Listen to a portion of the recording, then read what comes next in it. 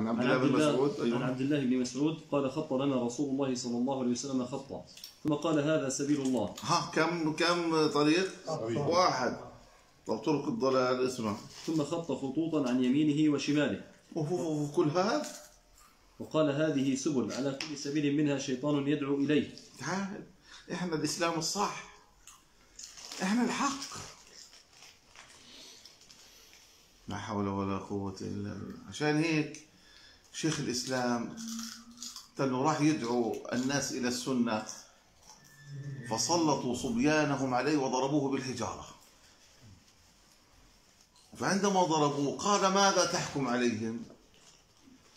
قال والله ما ضربوني إلا لحرصهم على الإسلام ولكنهم جهلة. سكين. يضربك ويعتبر ضربك تقرب إلى الله. لأنه استجاب للشيطان. ما بيعرف السنة. أنت ربنا أكرمك بالسنة هو لسه ما وصلش. للطريق الواحد. فعلينا نكون رحماء بغيرنا. هم بجوز يكون ديانة واستقامة وحابين الدين وبدهم الجنة وبدهم وخايفين من النار لكنهم استجابوا للشيطان. وهم بفكروا حالهم استجابوا لمين؟ للرحمن.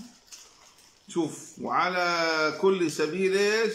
شيطان يدعو إليه. إليه. وقرأ. وقرأ وأن هذا صراطي مستقيما فاتبعوه. الآية.